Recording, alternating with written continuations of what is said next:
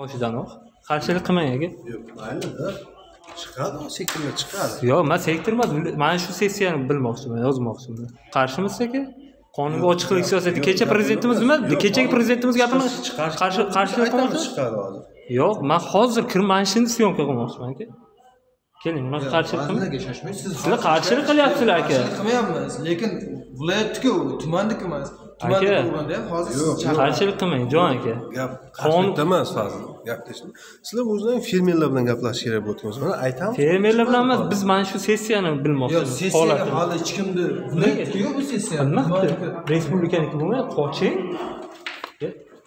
Keyingi masalamiz mana bu oching eshikni sinadi aka.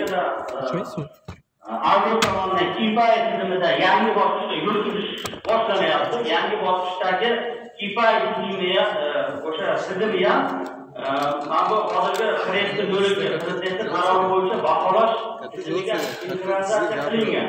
kifaya tizimida ham o'sha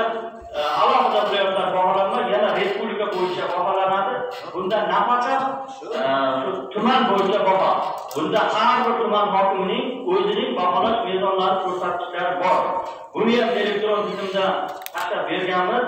Bu bo'yicha ham e, hurmatli e, hokimlar va ishni tashkil qilib sessiya bo'ladi. Да sessiya bo'lyapti. Qarshimisiniz yo'q siz taqilgansizmi haqqim bor mani kirishga. Shuni so'rang Kimdan? Yo'q, siz deputatlar sessiyasi bo'lyapsiz. Men nima deyapsiz? Aka qarshilik qilmang.